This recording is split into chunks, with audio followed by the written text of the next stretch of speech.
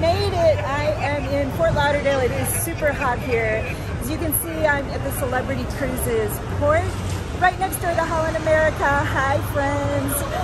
Come over and say hello. Okay, I'm first in the 1230 line, but all of my friends over here got in front of me.